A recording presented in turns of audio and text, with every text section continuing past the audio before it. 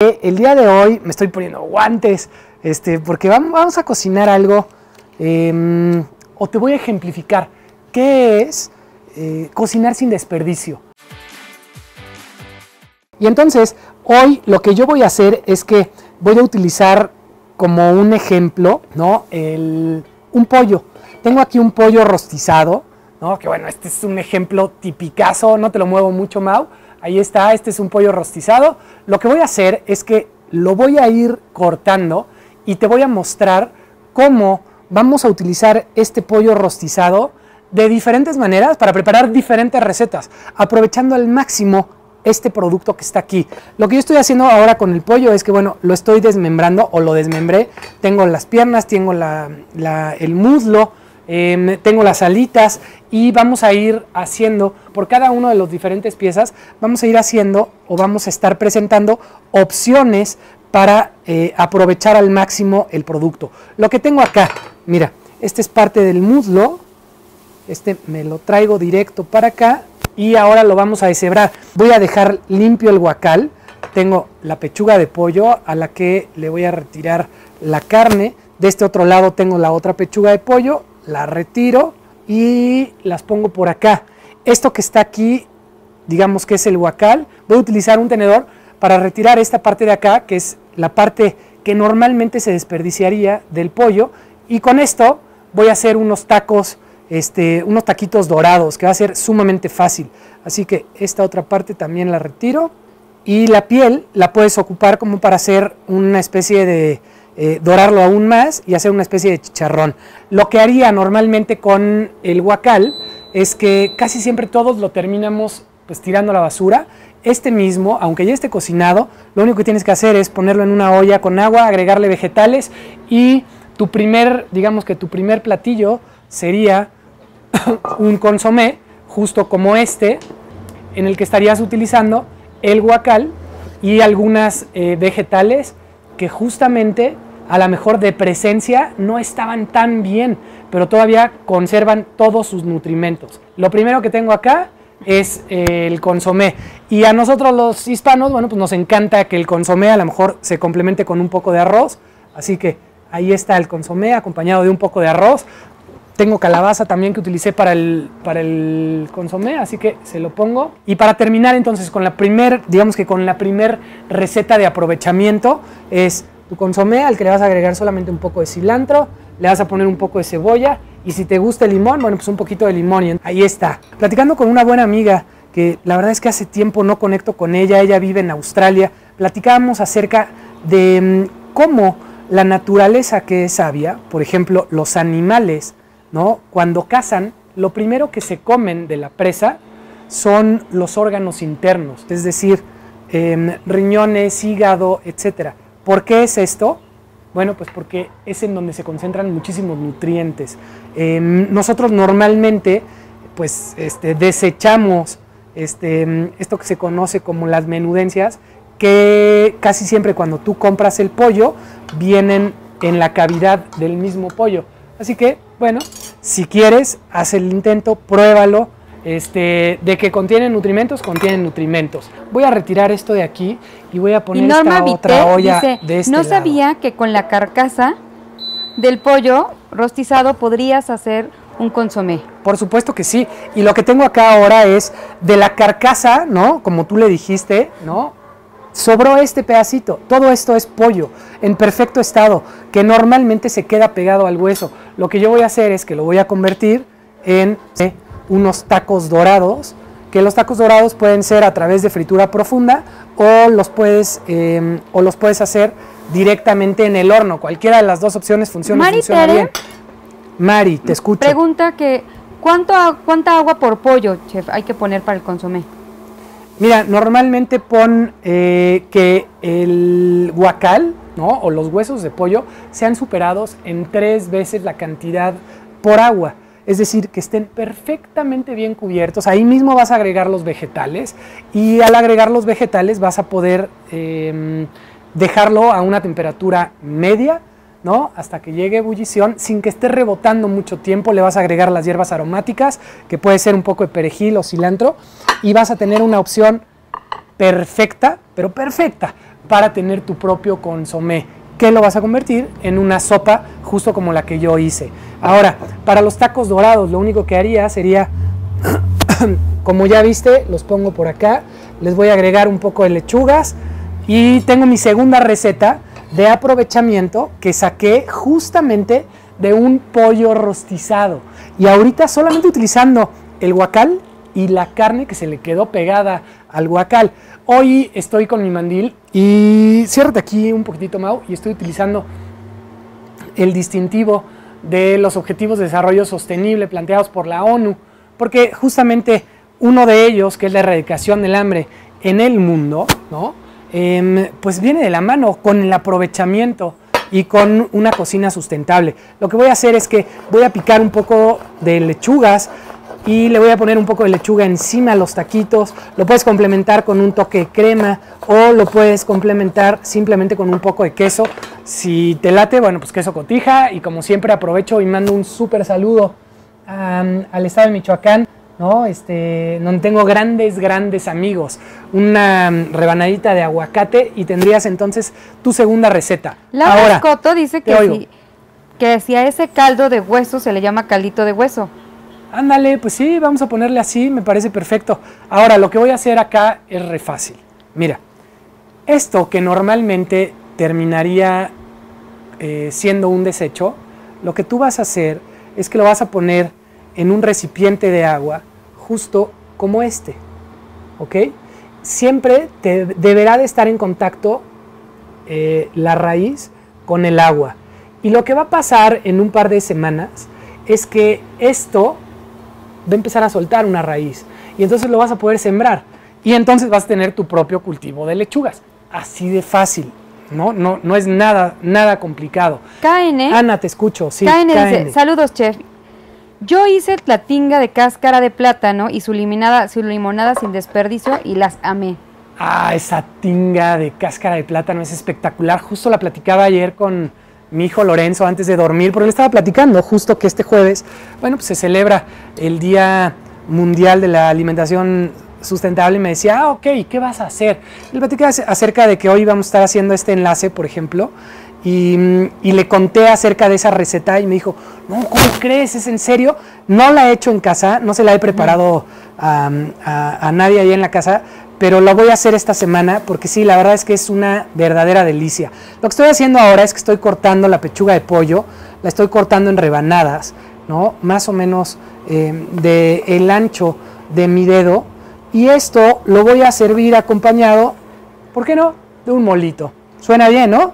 este, un arroz blanco y entonces voy a tener otro plato que se va a convertir en un plato completo y todo nació desde un pollo rostizado. Oye, más rentable que esto no se puede. ¿Estás de acuerdo? Ana, ¿por qué estás haciendo caras? A ver, cuéntame, ¿qué leíste o qué? No, están escribiendo de todo un poco, chef. ¿Eh? ¿Estás qué? Están escribiendo de todo un poco. De todo un poco, a ver, cuéntame, ¿qué te pusieron? Este, por ejemplo, Iván Chávez dijo, hola chef, hice unos cupcakes de pizza ¿De qué? De pizza. Unos no inflaron. de pizza, sí. ¿Usted puede saber por qué? Eh, ¿Será que haya seguido bien la receta? Nosotros justo tenemos en mi sitio tenemos una receta de pizza en forma de cupcake, ¿no? O hechos en moldes para cupcake. Y esa prueba de error, ¿eh? la verdad es que está facilísimo. Chécala. Pati Mendoza, chef, pregunta, dice, yo hago eso con la lechuga, pero siempre se me pudre. ¿Sabrá qué es lo que estoy haciendo mal? Em, tal vez le estás dejando por demasiado tiempo, Patti. Eh, lo que yo te sugeriría es que em, una vez que te, salga un poco de raíz en, el tallo de la lechuga, utiliza esa raíz y siémbrala directamente, ¿ok? Eh, la puedes sembrar. Ahora, si la quieres tener todo el tiempo en contacto con el agua, eh, hay que cambiar el agua porque a lo mejor se te está estancando el agua y es por eso que se te pudre. Ok, ahora lo que voy a hacer, mi querido Mau, es que le voy a poner un poco del mole. Ale, porfa, la cerrada, ¿no? Gracias. Em, déjame nada más limpiar un poco el plato. Déjame le quito este arrocito que tiene que estar del otro lado. Flores? Y ahora sí voy con el mole. Mira, mira, mira, mira esto. Ay, pa. Uf. Así, así de simple. Lo único que le agregaría un poco de ajonjolí encima Chef, pregunta Adriana Flores. Sí, Adriana. ¿Cómo puedo aprovechar la flor de Jamaica después de hervirla? Ah, ese de la flor de Jamaica también es uno de los ejemplos más, em, más ocurridos. La flor de Jamaica la puedes convertir en una tinga, la puedes convertir en una ensalada. Em, métete a mi sitio www.chefropesa.com.mx y mm, en el buscador pon Jamaica. Y ahí te van a salir un chorro de recetas de aprovechamiento hechos con Jamaica. Ahora, se me ocurre que mm, ya tengo entonces el mole con el pollo, este, ciérrate Ale, buenísimo. Pero como que el arroz así solo, pues no se antoja tanto, ¿no? Así que lo que voy a hacer es que vamos a hacer unos tostones de plátano maduro o plátano macho para complementar con el arroz. Te escucho. Terry González ah, dice, mi chef, me acabo de conectar, saludos desde Nueva York. ¿Qué estás cocinando hoy? Terry, qué bueno que te conectas eh, desde Nueva York. Te mando un abrazo a ti y a toda la comunidad hispana que están allá. Sé que las semanas pasadas han sido bien, bien difíciles, pero me alegro que, bueno, que creo que están mejor. Y me alegro sobre todo que estés aquí mirándonos. Lo que estamos haciendo el día de hoy es, estoy mostrando cómo con un pollo rostizado podemos hacer múltiples platillos, aprovechando al máximo aprovechando al máximo nuestros ingredientes. Esto porque el próximo jueves es el Día de la Gastronomía Sostenible y mm, quiero, este, más que con palabras, demostrarles eh, a qué se refiere esto de la gastronomía sostenible. Así que lo que voy a hacer ahora... Podríamos invitarlos a nuestro Instagram, chef, para que vean la infografía que hicimos de cuándo consumir el plátano, ¿recuerdas? Ah, claro, ahí en Instagram pusimos eh, los diferentes momentos eh, que, mm, por los que pasa un plátano y cómo eh, cada diferente momento te aporta diferentes nutrimentos, pero siempre, siempre lo puedes consumir. Ok, lo que puse en el sartén fue un poco de, mm, un poco de aceite y aquí voy a poner unas rebanadas de plátano. Elizabeth García Para que se doren ligeramente y esas las voy a poner arriba del arroz. Elizabeth García, te oigo. Dice, eh, perdón, ¿puede repetir lo de utilizar el guacal del pollo para hacer un consomé? Sí. Me acabo de, acabo de ingresar. Saludos desde Estados Unidos. Claro, claro que sí. Em, mira, lo que hice con el guacal del pollo fue que una vez, eh, una vez que le retiré el, el, excedente de pollo, ese excedente de pollo lo convertí en unos tacos dorados. Mau, vente para acá, este no está lindo. Este, ese excedente del pollo lo convertí en unos tacos dorados que están aquí porfa. Eso, ahí están, esos tacos dorados. Em, el guacal lo convertí en esto que está acá, que es un consomé acompañado de arroz, cilantro y cebolla. Y la pechuga que le retiré a ese guacal la convertí en una pechuga de pollo con mole que voy a adicionar con un poco de arroz al que le voy a agregar un poco de plátano maduro o plátano macho. Así de simple. Dice Mona Bella también podríamos hacer una ensalada tipo rusa con unos bollitos con ese pollo. Sí, claro, y quedaría excepcional, excepcional. Ahora, em, le voy a dar la vuelta entonces a los plátanos machos, solamente quiero que se vayan dorando. Y una vez que se hayan dorado, los voy a poner sobre el, Dominga Cortés Dominga Cortés nos cuenta, mi mamá cocinaba los huesitos del pollo rostizado, como usted lo hizo, pero ella le ponía hierba santa y quedaba buenísimo su Claro, le puedes poner hierba santa, le puedes poner un poco de cilantro, le puedes poner perejil, todo eso lo va a enriquecer em, y le va a dar un sabor muy, muy agradable. Ahora, me sobró una parte del plátano macho o el plátano maduro. Lo que voy a hacer con esto es que voy a hacer una salsa para complementar las demás piezas del pollo. Y esto va a ser muy, muy simple. Lo que voy a hacer es esto, mira. Voy a licuar el plátano macho o el plátano maduro con un poco de chile chipotle seco, ¿no? Que está por acá. Y le voy a agregar un poco de cebolla. Todo esto dentro del vaso de la licuadora. Le puedes agregar un poco de acidez que puede venir em, acompañada de limón, ¿no? O en forma de limón. Va para adentro. Ahí está la cebolla, el, el chile el chile chipotle, ahora agrego otra porción de plátano acá adentro, lo licúo y eso que voy a licuar, solamente le agrego un poquito de jugo de limón y el agua en la que hidrato el chile chipotle, va para adentro, va para adentro, lo licúas y vas a obtener una textura más o menos como esta. Ana, ¿todo bien? Sí, todo bien. Tenemos muchísimos saludos. Pues échamelos de una vez. Mario Ortega, saludos desde San Antonio, Texas. Mari, un saludo para ti. Camila. Y para todos ahí en el estado saludos desde Mazatlán, Sinaloa. Un abrazo a Mazatlán, Sinaloa, por supuesto, uno de los principales productores de alimentos naturales en la República Mexicana. Destaca muchísimo la producción de berenjena que tienen allá, por supuesto, el tomate y los pimientos. Así que saludos para ustedes allá. Cuéntame, ¿qué otros saludos? Julio Heredia Loesa dice, chef, muchísimas gracias por estas ricas opciones. Y Anel Ángeles podría decir que si puedes decir cuál es tu Instagram. Eh, claro, mi Instagram es chef-oropesa. Ahí este, van a encontrar la publicación que mencionábamos recién acerca de los diferentes momentos para consumir el plátano. Y más allá de los diferentes momentos de consumir el plátano, te habla acerca de, em, bueno, en esos momentos, ¿qué nutrimentos te aporta? Quédate ahí, Mau. Karen Santos. Yo nada más llego con eso. Karen Santos pregunta que si puedes repetir, chef, ¿qué le pusiste al pollo para rostizarlo? Sí, al pollo para rostizarlo le puse exactamente la misma mezcla que mencioné recién, que fue plátano macho o plátano maduro, licuado con chile chipotle, con cebolla, con ajo y un poco de jugo de limón y quedó sumamente bueno, sumamente bueno.